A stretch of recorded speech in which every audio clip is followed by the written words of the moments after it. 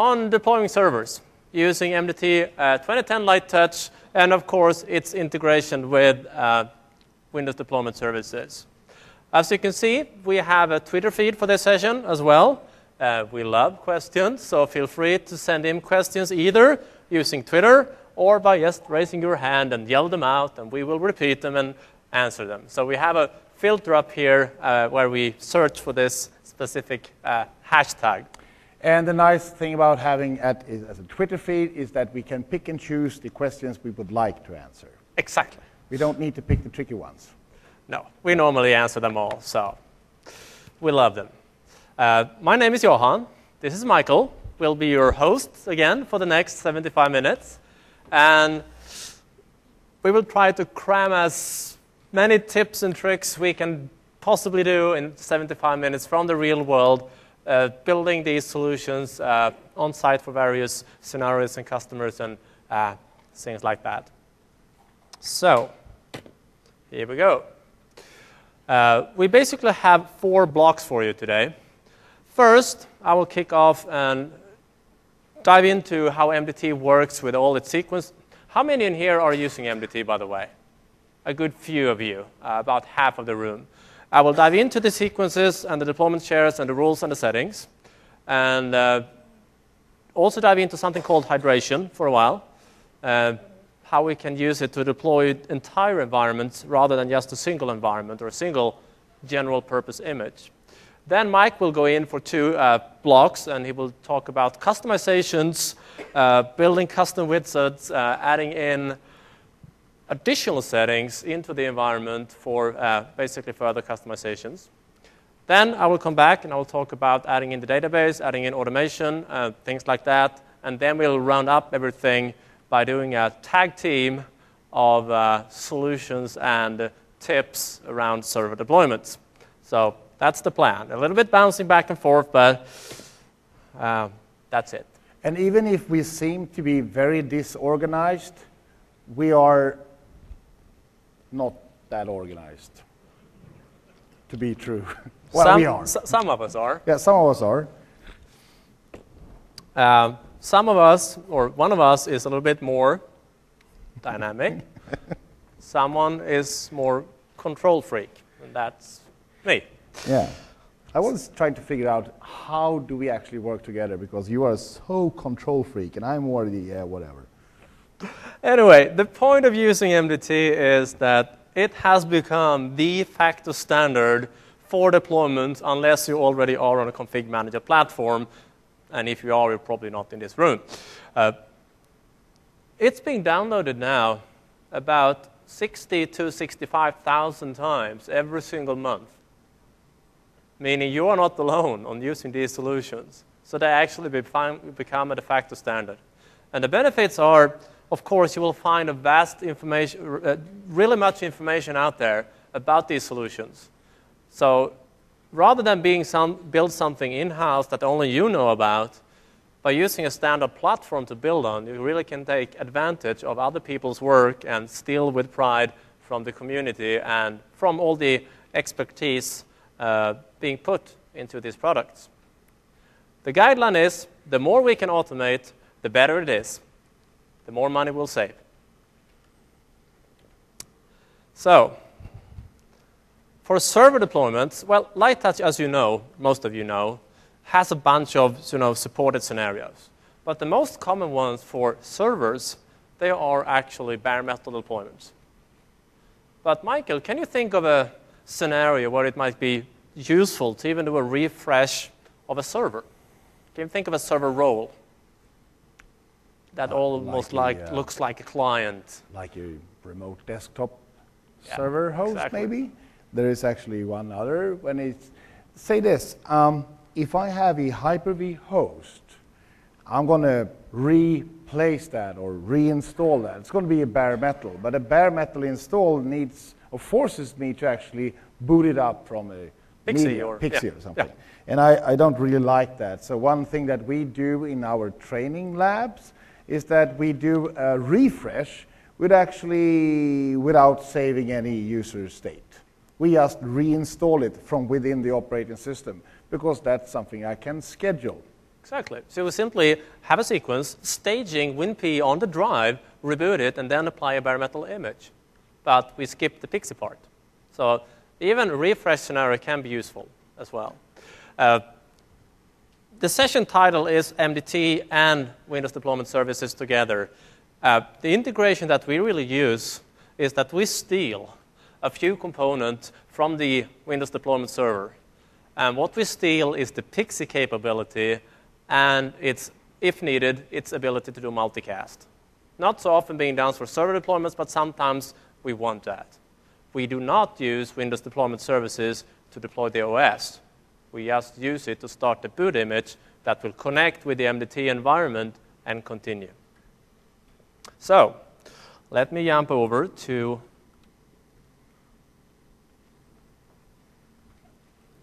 my demo environment. This is a deployment workbench from MDT 2010 Light Touch. This is the admin UI, for those of you who have not seen it before. In this UI, we uh, start to pour in content for our servers.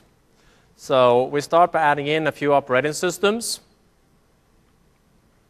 And this is all the additions of Server 2008 R2. If needed, we pour in some drivers. If needed, we pour in some packages, like this one for a Hyper-V to run effectively on all cores without the blue screen. And we also add in, if needed, server applications. But this share that you see right here, I create for a specific purpose, and that's for creating reference images. So in the settings for this share, I configure it to actually do a capture when I deploy that image. So what I would do is the following. I will start a virtual machine because you should always use VMs when building reference images. So, why should we always use a VM to deploy a reference image? Because I said so. Yeah, that's one reason. The other reason is. Sorry, that was a comment. Yes. You can always rule out hardware issues totally out of the picture. You get the totally best image the best, best image you can possibly get, and you can use things that are difficult to do in physical hardware. Like snapshots? Snapshots in time. And there's a, another reason we've seen some customers uh, installing a reference image on a physical machine that will automatically download and install drivers. And that's fine, right? The only problem is that the driver also installed an application. Or a service. Or a service. Or any other darn thing. And then you have a really nice image based on a HP machine, and you try to deploy that on a virtual machine. And that service, for some reason, doesn't fire up correctly. Can't find that properties in the SMBIOS. Great. So we, pre we prefer VMs. So I've started a VM, as you can see. You see the nice solution accelerators background. And it will now connect to my deployment share and uh, give me a list of available sequences. So these are my only two available sequences on my server. Windows Server Enterprise and Data Center, core. So if I select this one,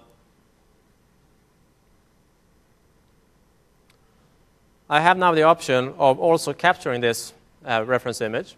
So let me just kick off ZoomIt here. Zoom is the utility uh, we use when uh, it's a speaker utility. Doing things like this, quite useful. As you can see, I'm capturing this one. So when starting this process, everything is automated. It will install the OS, it will patch it against a local SUS server. Why? Because I said so. Because in the sequence on the server, that deploys this image. Uh, here we go. There is an action running Windows Update, actually twice. And in my settings, I had configured it to use a local uh, server. a local WSUS server. If I don't specify this, it will try to go out to Microsoft Update. Don't do that. Have a local SUS server.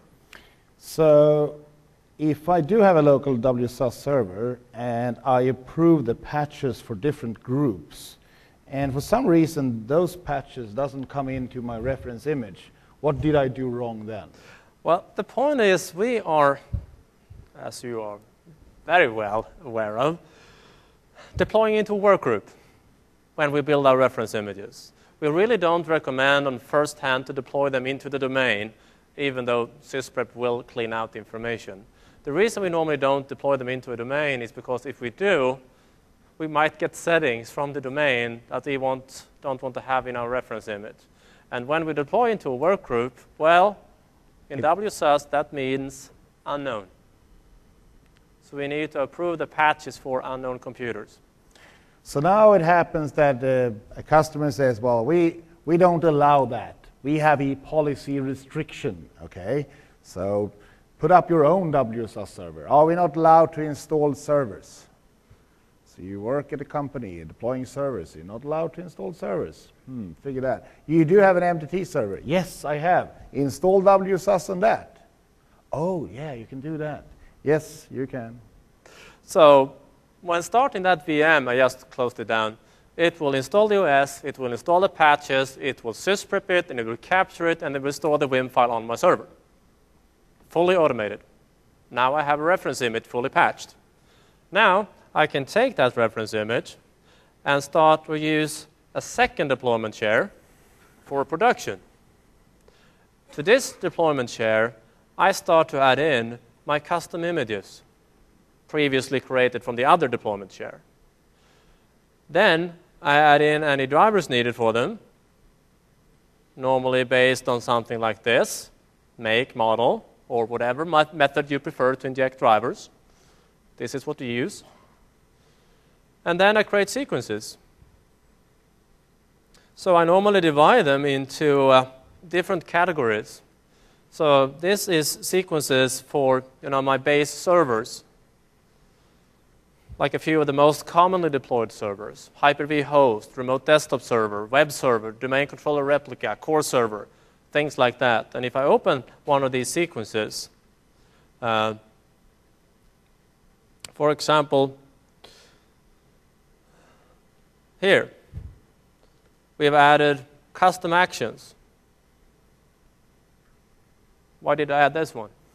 Well, because if you do have multiple drives, you maybe want to online the second disk. Um, because if a disk is you know, on a shared storage, uh, that disk will not be online, and maybe you want to use that.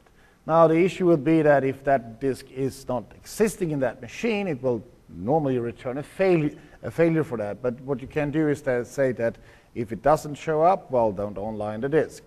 If it fails, ignore the failure. Every single action that we add in here, you can see I have multiple steps partitioning. We can have conditions on them if we want to.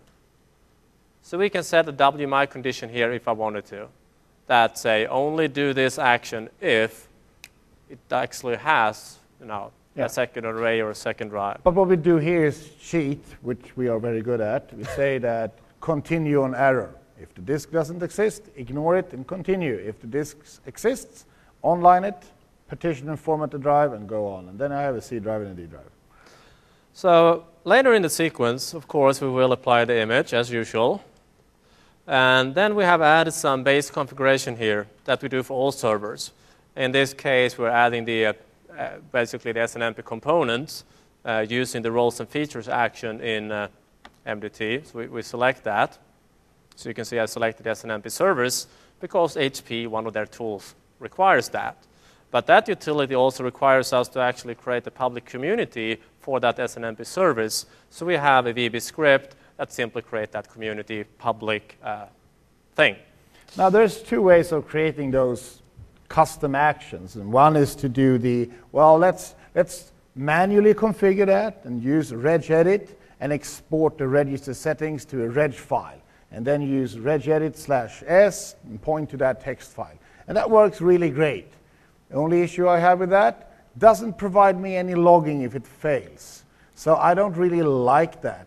What we normally do is that we create a VB script wrapper around that feature. I'm going to show you that later on how to create those script files. So you should actually try to always create a wrapper around everything because that will also log everything. And now you can troubleshoot. You have additional error handling, things yes. like that. I don't really like the troubleshooting, but it's based on I have no clue. Just you know, do it again, and that's maybe it's uh, something I don't know. All right, then you see I have some hardware configuration here, specific in this case for HP servers.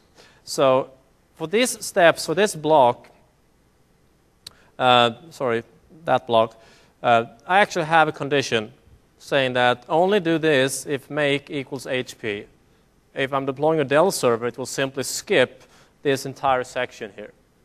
And then I install the HP support pack, and I also make sure to run the HP firmware uh, application that will update BIOS and firmware on the machine, on the server, to the latest version. And for this block to happen, I also have a condition and say, hey, only do this where the model equals any of these three machines. And there's a different approaches of this. We have customers saying that, well, you know, we will constantly make sure that we have the latest and the greatest BIOS version of every piece of server we have. I don't have that approach. A server that is in production, I don't fix something that works. But if I reuse it for something else, then it's safe to do a firmware upgrade. So I prefer to do it during upgrade phases. If I'm not need, I mean, some cases you really need to, right? It could be a break fix, right? Yeah, you it could need be, that. Yeah, exactly. Yeah. Otherwise, I do it this way. At deployment time, do all the firmware stuff. If it blows up, hey, you need to get a new server, and I can throw out the old one anyway, so that's going to be nice. And then, since this was a sequence to deploy a Hyper-V host, we have added the necessary components uh, to deploy a Hyper-V host. And we, so we simply selected Hyper-V in here in the roles and features. And since we like PowerShell, or actually we love PowerShell, of course, we also installed the PowerShell library for Hyper-V, which is available on Codeplex, and it allows you to do pretty cool things yeah. uh, with terms of Hyper-V. I mean, maybe some of you remembered back in the old days when we had a Windows Server 2003 servers. You remember that? 100 years ago. Anyway, in that case, we had something called support tools and resource kit tools. And you know, you didn't need those tools the first day, but eventually something went terribly wrong and you needed those tools. Now, do you really think it's funny to install support tools and tools to fix something on something that is broken? The likeliness of, of being able to install these tools on something that is broken is going to make it worse. That's why we need to have the tools in from the beginning. And if you don't automate this process, you will never install them until you need them, and then you will break the machine even worse. Always happens. So, and just to add a final touch to this, we actually added a, a, a VB script that will send us an email when the server is completed. And we also attach the log files for the deployment from that server. So, so that's, that's one of the most common things we've been asked for. It's like, it's so easy. How many would you like to have the send an email when the server is done and ready for production? Okay, great. No, it's a, that's a VB script, sorry. Oh yeah, there exists PowerShell scripts. You can certainly do it in PowerShell. We yeah. wrote the VB script because we wanted to work on every single server release, and we don't always have PowerShell in that scenario. No. You can download this script from our blogs. So he so, is the he is the de- deploymentbunny.com, yeah. and uh, I'm deploymentresearch.com. Yeah. So he's the organized. I'm the other one. Uh, anyway, uh, there's another thing that we are working on right now, and that is the uh, capability of doing real-time logging. I have, it's not done yet, but I'm working on it. Hopefully in the next month or so, it will be something that will constantly keep on updating the event log from the deployment server so you can use whatever tool you like to go into the event log and see what stage the server are in right now. Anybody wants that? Yeah, I would like yeah, to have great. one. it's going to be on the Deployment Bunny anyway. So for now, we are sending an email when it's completed. So And we have similar things for the, for the other servers. For example, the sequence that deploys the domain controller replica obviously will have the actions uh, that will uh, install and configure Active Directory as a new domain controller replica in this specific domain, things like that. And, and this might seem very odd. How many domain controllers do you really need to install? Uh, two, right? Maybe, if you don't have a bunch of branch offices. But here's the story. So if we do have everything as a sequence, let's say that your second domain controller just for some reason blows up. And it's like, oh God, I need to restore that, you know. And you don't really want to restore that. So you're going to reinstall that. So what, what password did I use the last time? What configuration did I use last time? What settings did I use last time? I want to check my documentation. So you're going to rip out the documentation that says how to install a backup domain controller using NT4. Yeah, we didn't update that. So then you're going to be guessing on how you did the server. And I don't really like to be guessing.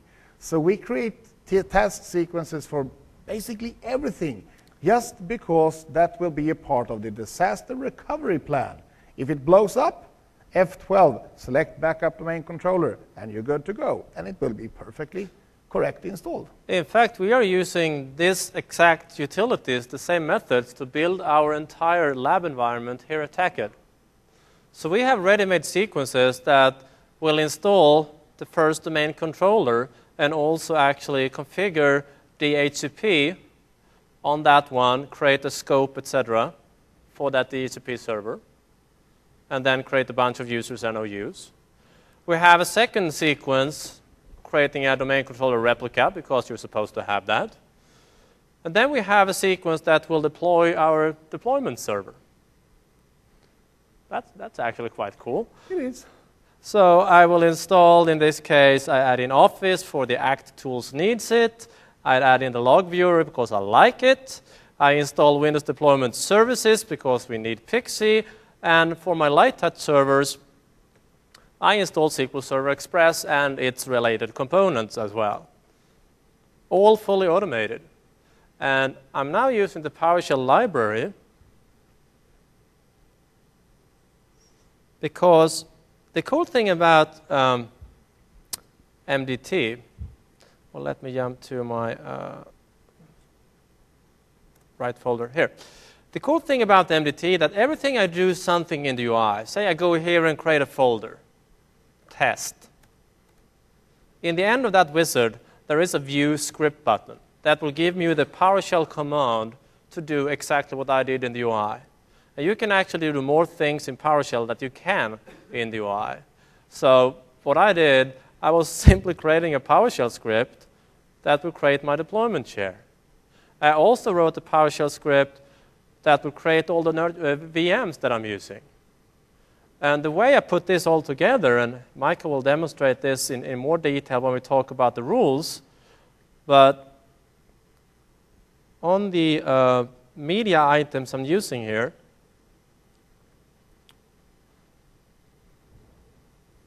I'm configuring different settings for different servers, in this case based on you know, MAC address, assigning different IP addresses and such. So it really gives me a, sort of a flexible way of, of, of uh, building this. And if you go to my blog, you can actually download the hydration environment that we are using here in TechEd if you want to start playing around with this. It's a massive 72K download. Maybe you need to have some hardwire to, to be able to download that. Wireless can be very time consuming. It's different, you know, 300 baud modem, and yeah, it takes a while. I remember that. It's your turn. It's my turn. So uh, flip the switch. I'm going to flip the switch. I know how to flip a switch. Flip, switch, switch is flipped. So one of the great things about MDT is the, uh, it's the rules. And we, we usually talk about bending the rules. Just using the rules as they were intended to use is not that funny. It's more funny when you do things you weren't supposed to do. Anyway, the rules uh, when you start realize how they work, you also realize that this is, this is not really meant for only deployment. There's some genius behind it that actually created some kind of framework because you can use it for whatever you like. It is intended to be used this way. So it's very open. We use VB script that is fully supported, HTA, which is kind of universal, universal and very simple to use. Uh, there is a wizard editor from Codeplex you can download. I'm going to show you that. Um, and one of the things that is the big difference between client deployment and server deployment is that when we do client deployment, everything is supposed to be as streamlined, as boring, as look-alike as possible. Treat all the users as you know one big thing. Don't have any differences. Well, we can't do that with servers. So in many cases, I do have customers using Configuration Manager to deploy all the clients, but they use Light Touch for servers. Why? Because there's so many variations. And it takes like five minutes to pop up the wizard editor and throw in a couple of ask this.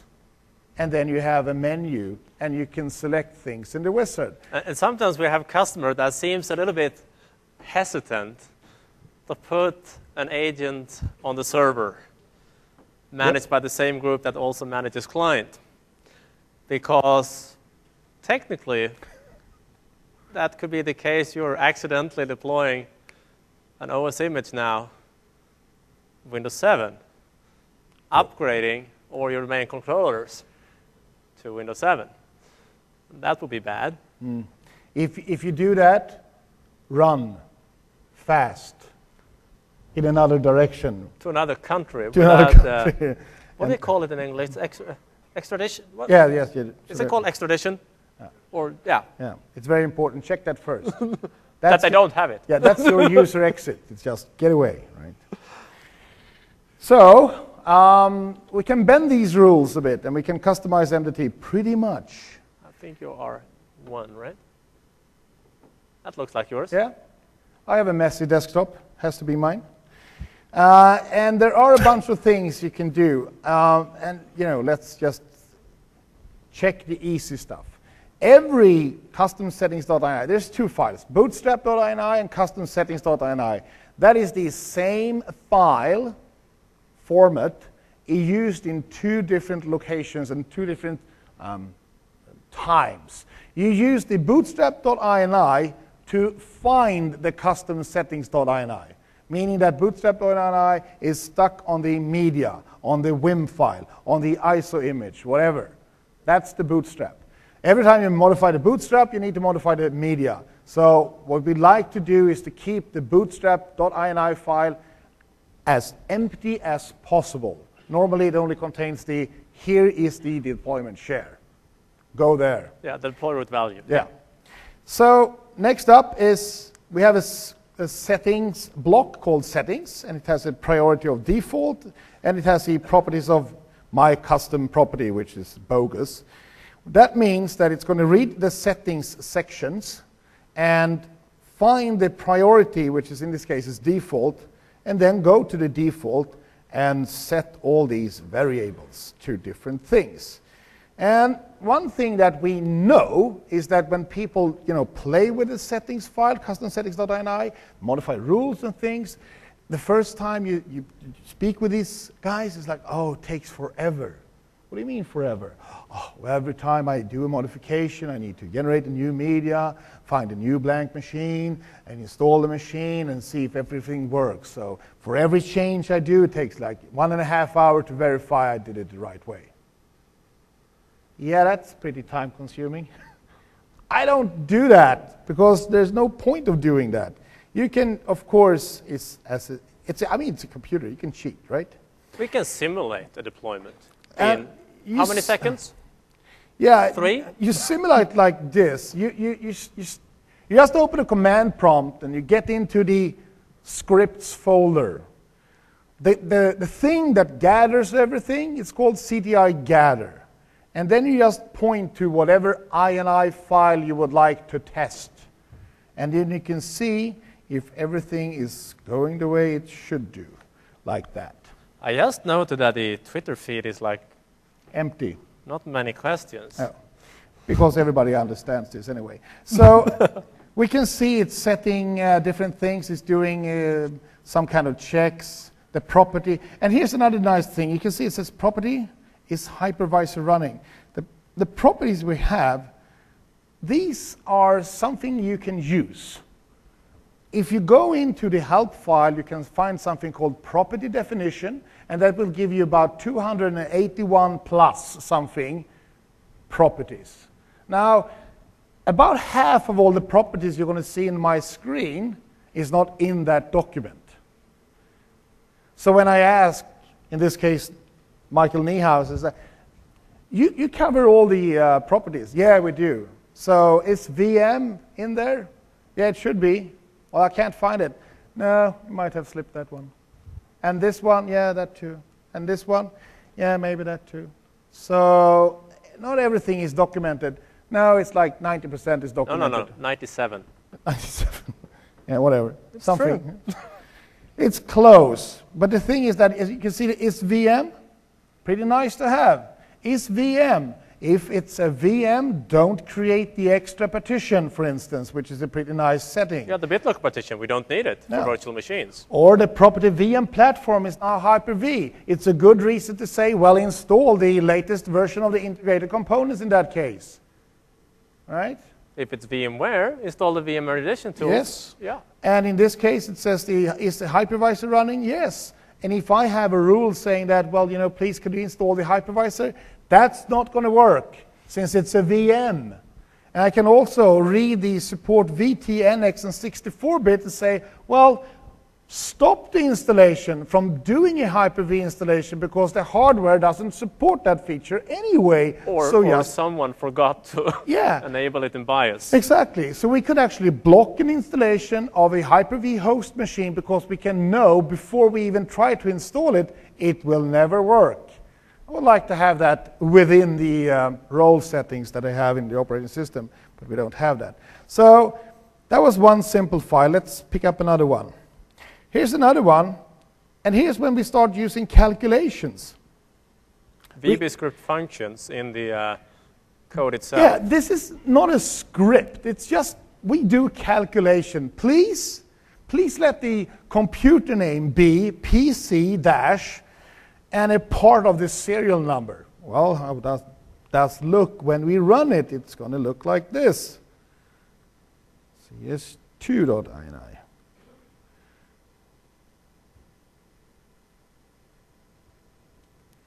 And the computer name is, sorry, somewhere around here. Uh, you know, there is a log file on the C yeah, drive. Yeah, but I can't just trying to see it. Oh, is the computer name? It's not here, right? No, nope. it's not. Can you open the ini file you selected? Yeah, should be there.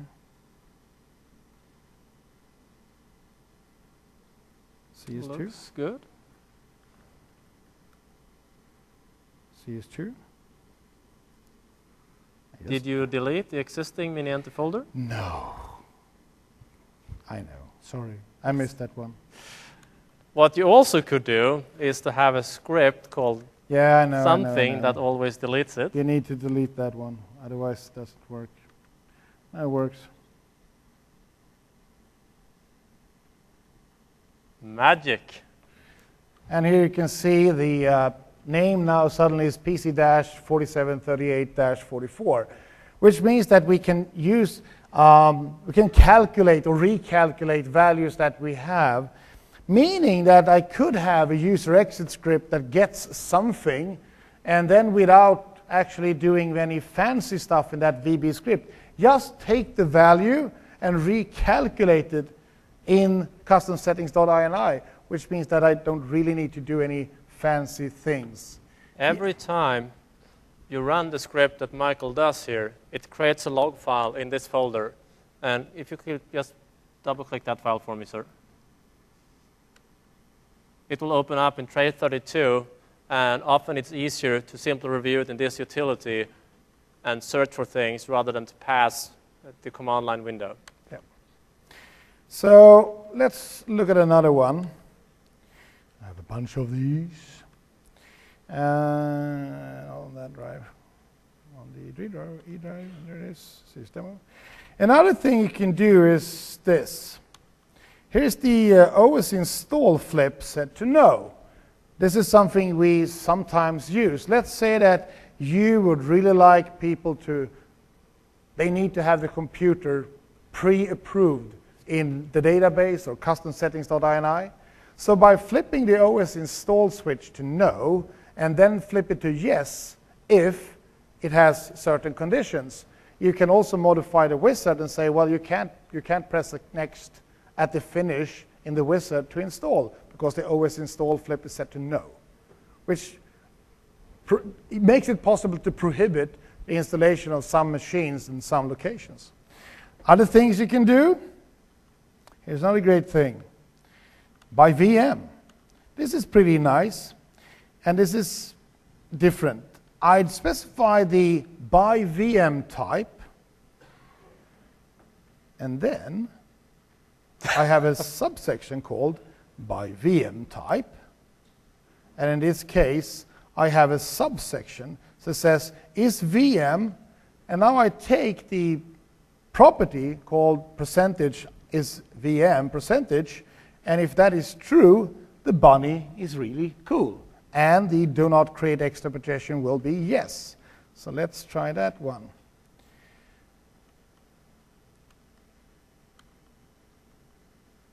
It's gone, and that was CS4, right?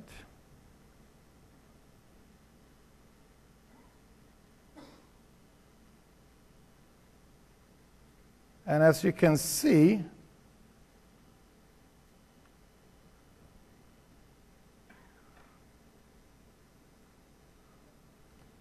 the bunny is cool.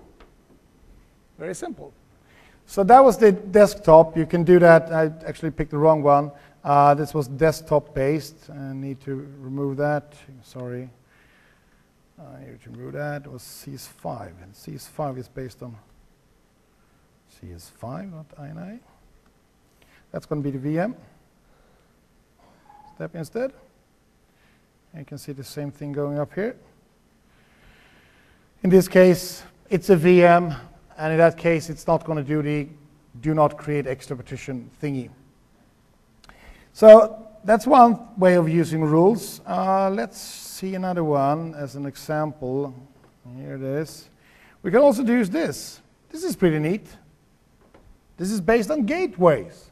If you are on that certain gateway, in that case, you should do whatever you need to do. Here we go. Here it says, well, you know, we just add a section of default gateway, and default gateway will end up in this section, default gateway. And if the reply is that we're going to get that IP address back as the default gateway, well, then the subsection is going to be whatever it's going to be, and we're going to end up in that location instead. Which makes it kind of nice to have different language settings different network settings, different whatever settings we need to have because we are in a different network location. And you can, of course, combine all this together. Uh, we can, of course, use make and model. Based on model, I would like to say if the model is a virtual machine, hey, then it's okay. Then the bunny is cool and the OS install is flipped to yes.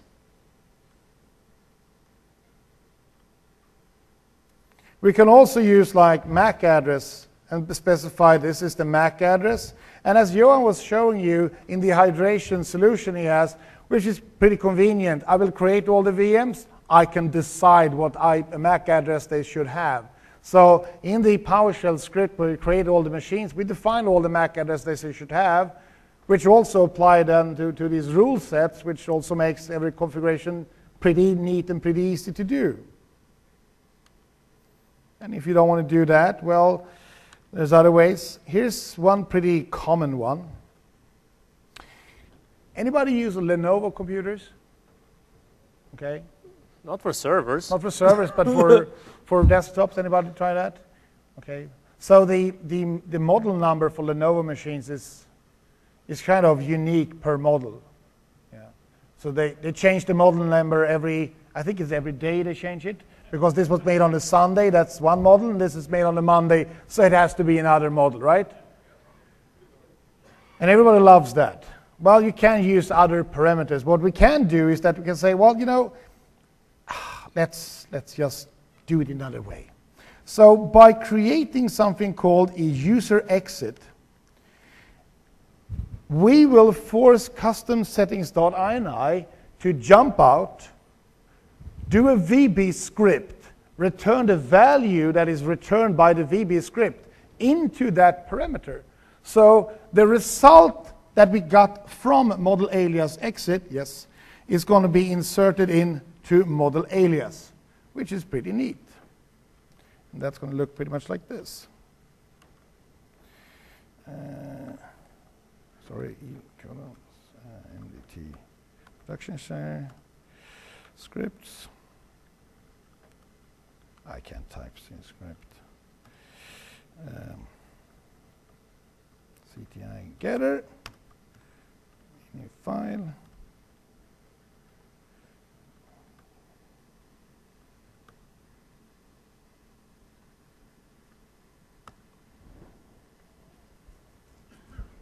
Uh, colon, you missed the colon. Sorry.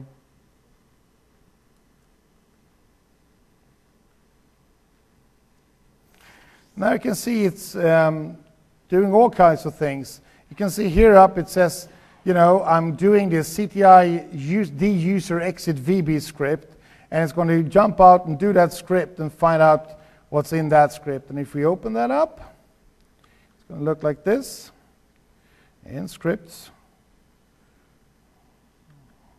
The, sorry, ZTI, the user exit script. Not bad.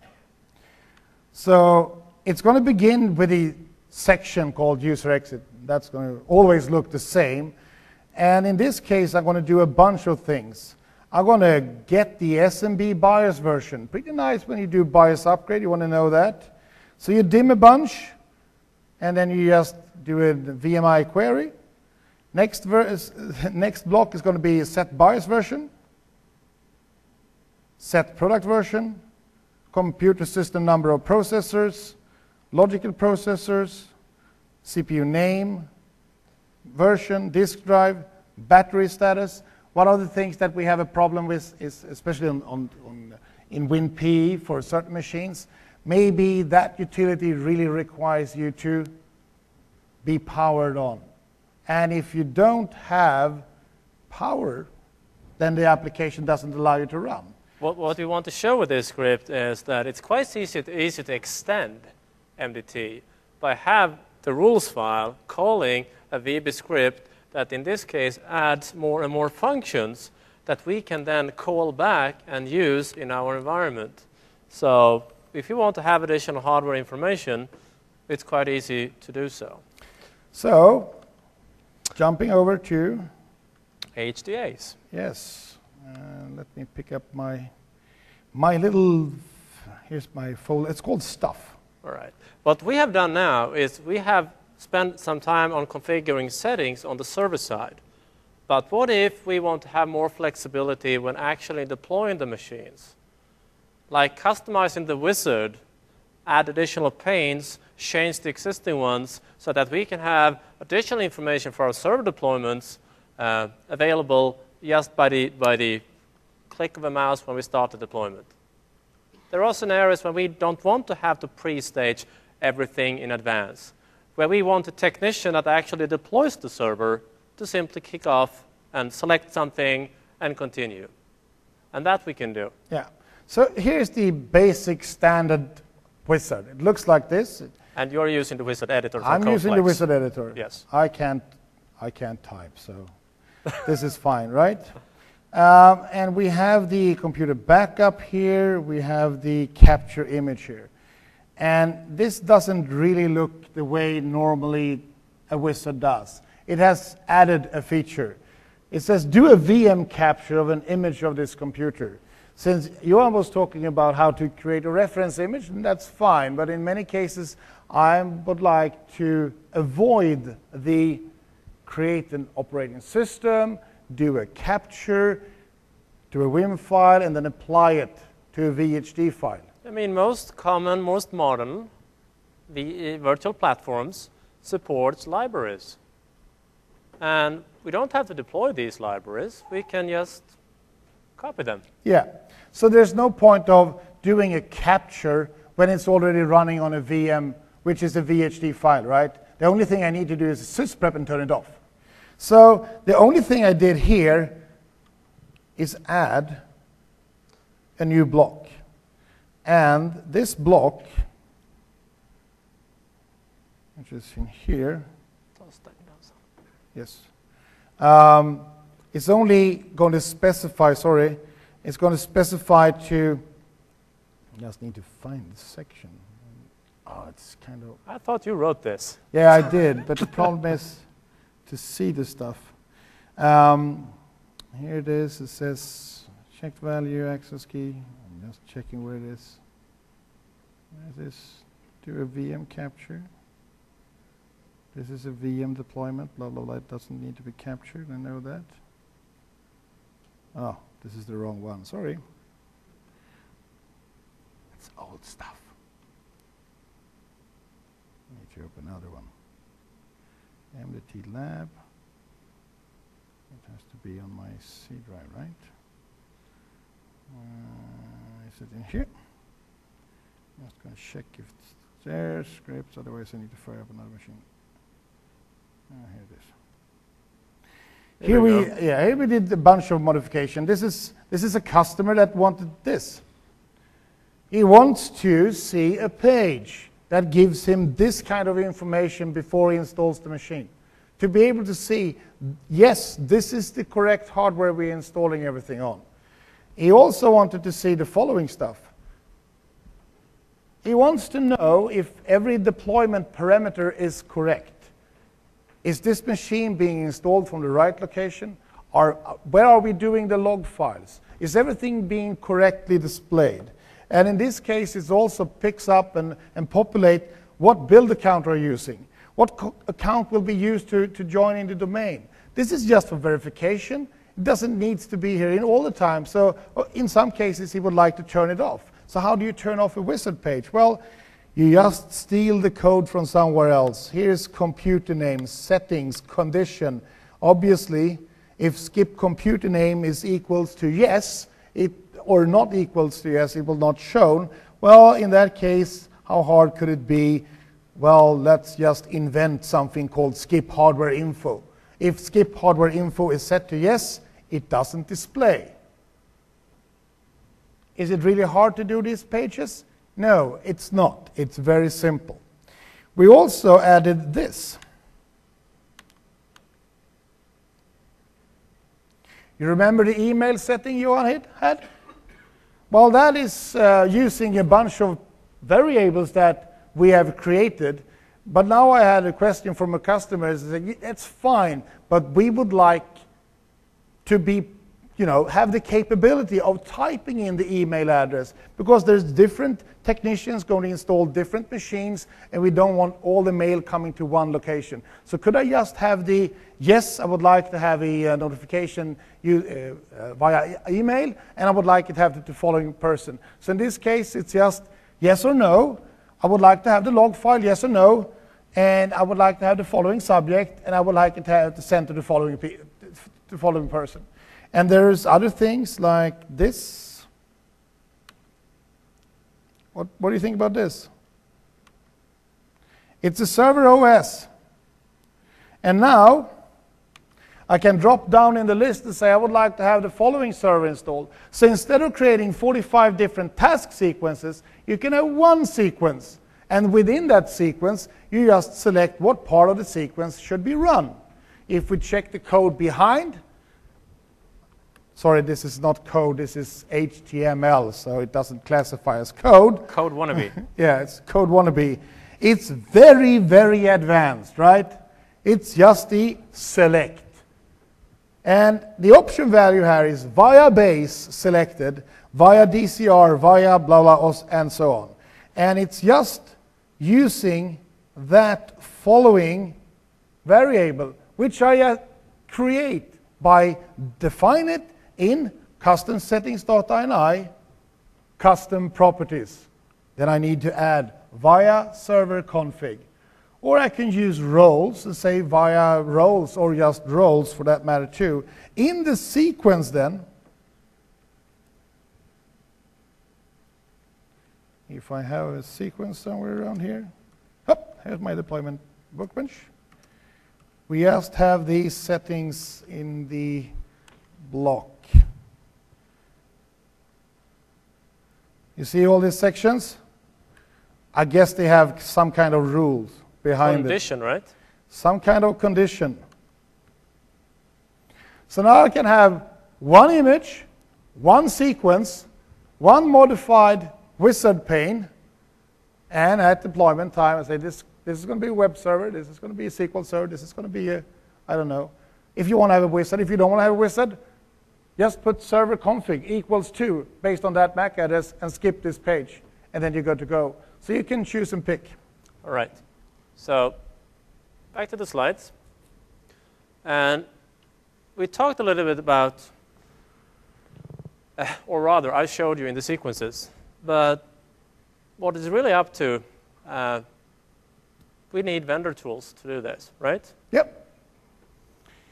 The trick is that to be able to do drivers, drivers is drivers, so that's vendors, but to do BIOS and array configuration and to do all these kinds of uh, um, network teaming things, we need to use the vendor's toolkit. They are not really that good of, you know, oh, you want to do a customized light touch deployment, then you need these tools. Doesn't really say so. It's hidden within other tools. So, for instance, at HP, it's called the rapid server deployment toolkit that is supposed to be used with their own solution. But it's just a bunch of batch files or VB script. Download them, tweak them, modify them, throw them into the task sequence, and you're pretty much good to go. Now, the only trick we have is two, and that is. The only one we have is two? Yeah, yeah the only one problem we have is two, and that problem is network adapter and teaming. So, how in the freaking do you really do teaming? What happens when you team a network adapter? It loses connectivity pretty much. Like, whew, there it goes.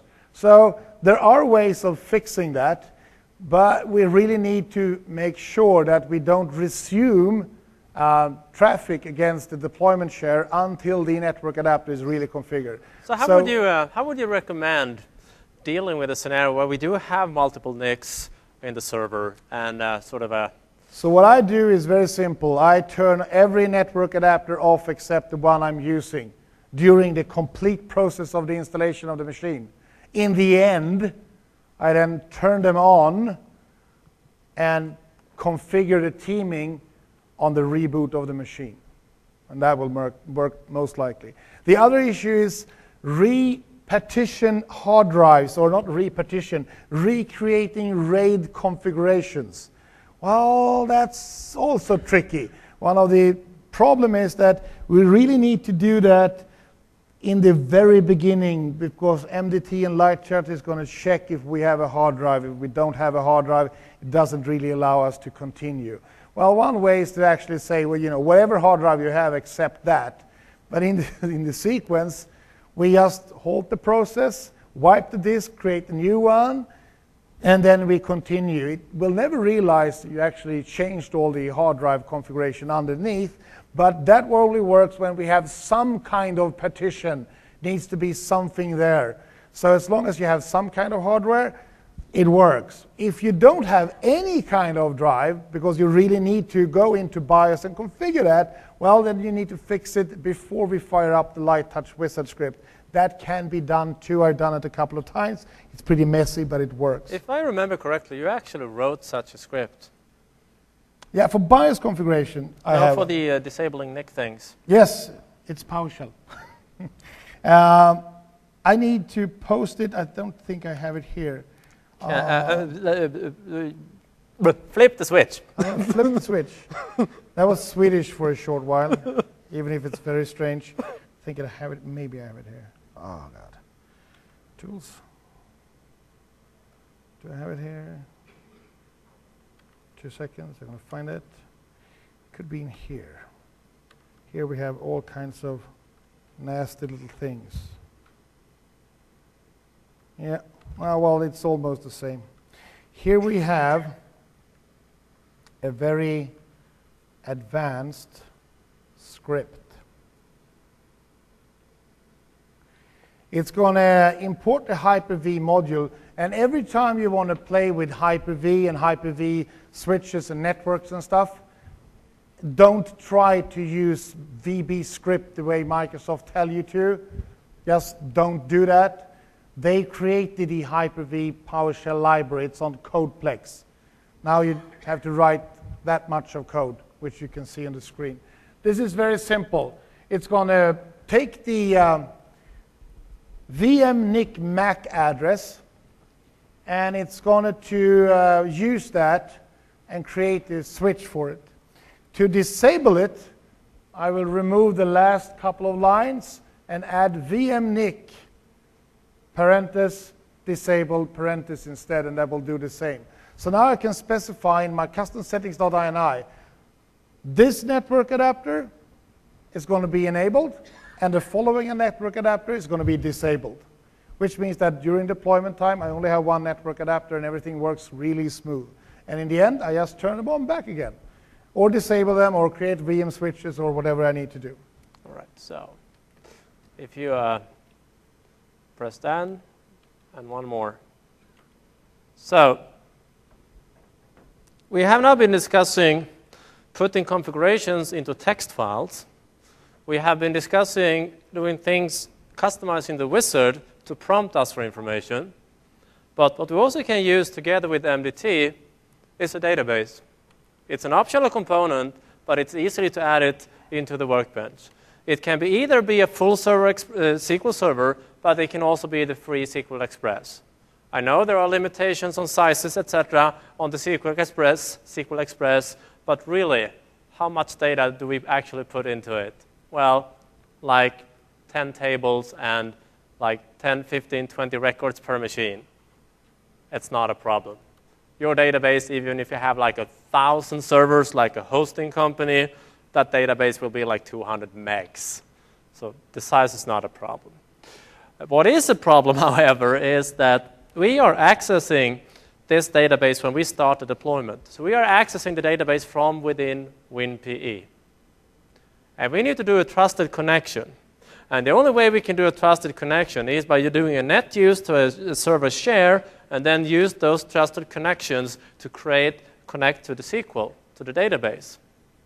Because WinPE is not a member of the domain. To do this, we use the named pipes protocol. And that protocol isn't exactly new. It's been around for a while. So you need to convince your SQL DBAs to actually enable named pipes, which can be actually the most tricky part in this configuration. Uh, as, as long as you say, you know, enable named pipes, they go like, uh-huh. It's when you say you also need to share a folder on the SQL server, they go like, what? well, you need a shared folder on it. Uh-huh. What's supposed to be in there? Nothing, just share a folder. So we can connect one. to it. So yeah. we can connect to it. Then they get really suspicious, like, yeah, yeah, whatever, okay. Oh, I'm not sure about that. All right. So anyway, the reason we use, name, use named pipes is it's simply the most reliable way that we in WinPE can connect to a SQL database. I know we can use sockets type of connections, but they are less reliable. Simply named pipes is the best. What can you do if you can't use named pipes? What is your about only valid option here? You are not allowed to answer, sir. I know the answer. What is our options? TCP/IP. No. You can use TCP/IP. No, it's not reliable. No, no, but you can use it.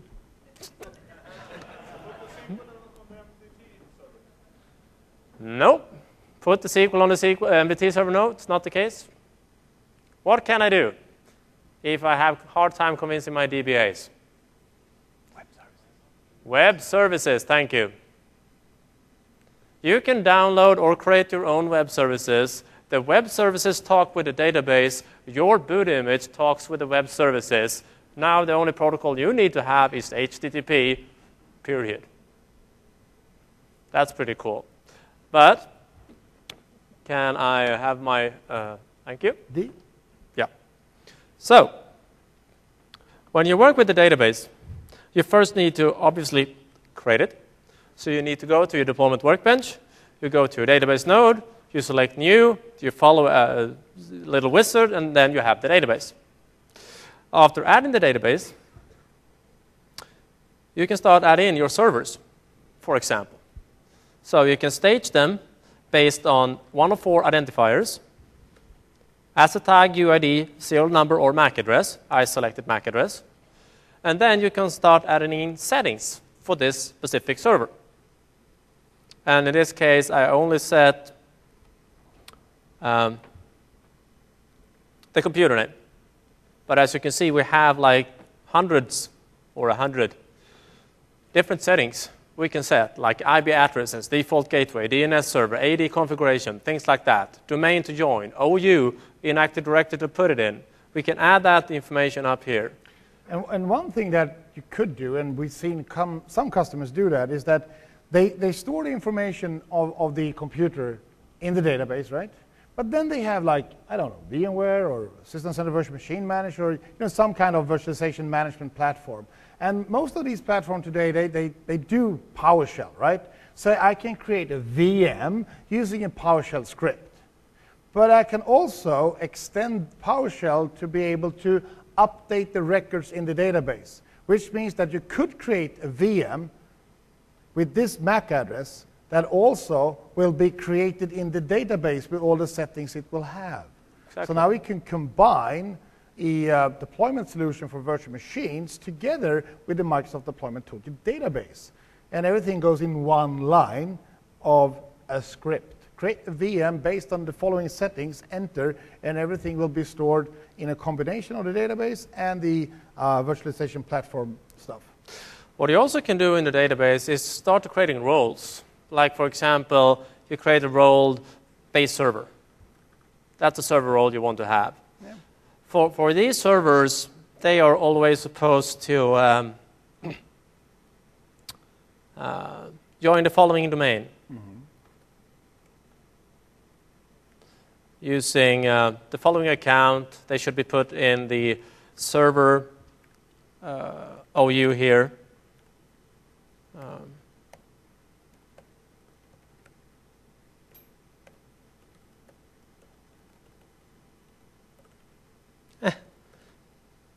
So what we now can do is that John is adding a role, right? What I can do in the wizard page, if I would like to modify the wizard, instead of doing the via server config, I can change that into roles 001, and then I have the luxury of using roles from the database. So by picking a role, it will first most get all the settings from the database in that section and use that but also it will pick that certain configuration I have in custom settings.ini or whatever I have it. So it's going to be extremely flexible. Exactly. You just pick the server type, and it's going to get all the parameters from different locations and just configure the server that way. Exactly. So I created a role, and now, of course, I need to go back to my server and associate that role, one or more roles, with that machine. So, so this is how I connect the two, unless I ask for it. I can also do uh, location-based settings, create different sites, different IP subnets. So I can have my uh, Stockholm site or Stockholm data center where I have the following gateways. You can have more than one. Yeah, that's because you don't have a data center where you live. No, the town where I live is on the west coast, and we don't have a data center there. So I normally steal his. Yeah. Because he has one. Yeah, I, I have a data center and he has a beach. we have a nice beach in Halmstad, yeah. So here I can add different settings per site, for example. I can do also this with hardware. I can add in my different servers as a hardware type, make HP and uh, uh, maybe still the same version I have for my drivers here. So the ProLiant blade here, here we go. And now I can, for example, have settings for that specific model. Or why not add in applications from my application store that is for that specific model. And I can add in multiple ones and uh, here we go. Um, I can also sort them in what order they are supposed to be installed. So we can store every information that we want for our deployments in the database. And now we can also take this one more step further by taking all this, all the settings, all the sequences, all the databases, and actually put that in the perspective of using a provision-like environment. So I know that you happen to have. Yep. Let's flip it over. So in this case, this is System Center Virtual Machine Manager. And instead of installing the complete OS, I do have a ready-made sysprep VHD file, just imported. It's just a blank sysprep image, right? And when I'm supposed to deploy this template, I say that, well, deploy this template to the machine, fire it up, do an automatic log on as a local administrator, and run that. And that will do a net use against my deployment server, and it will run the LiteTouch VB script, having an option in the end saying via server config colon web server, which will then pick up the sequence and do the rest of the configuration in that case. Two seconds. To get this to work, we still create sequences in LiteTouch but we create half sequences. We only create sequences that does the post-OS installation. We completely take out all the actions that deploys the OS because we don't need to when we have a library. We are using library functions that just give us a clone of an OS. And then we execute the sequence that only will do that base server configuration, DNS, web server, SQL, whatever it is. And we save some, we save the entire time of deploying that OS. Yeah. So that means it takes roughly, roughly 10 minutes to get the server laid down, another five minutes to configure it, and then it's done. Which is pretty okay. It's, almost like you be waiting on the phone. Um, but really, well, anyway, that's the way it works. So there are different combinations. Fully deploying, VM deployment, relations with the database using custom settings.ini, or whatever you like. So I think we tried most of these different scenarios, and it's, it's just a matter of how would you like to uh, manage your deployment scenarios. It's not about if it's impossible or not. It, it's, it's just a playground anyway. So, what we like to do is open up for four and a six and a half whoopee minutes of, of Q&A. And uh, if you need to run away for something, don't forget to fill in the evaluation. But do you have any questions? The Twitter feed has been awfully quiet. I don't have a question, but I do have a statement. We are working on a book called Server Deployment Using Lite Touch. That's volume number two. And volume number three is going to be on Zero Touch for client side mostly. I think that's a shameless plug, It actually. is. I don't really make any money on that book anyway, but we no, write. I, take the money. Yeah, that's, that's, yeah I know yeah. you take the money. We yeah. write the book for the fun of it. Uh, it will be out this summer, most likely. It's like 75% finished, something like that. Chapter 6 of 11. yeah, yep. 50 then? almost, yeah. All right, we'll be here if you have any more questions. Thank you for taking your time. Have a great second. Thank you.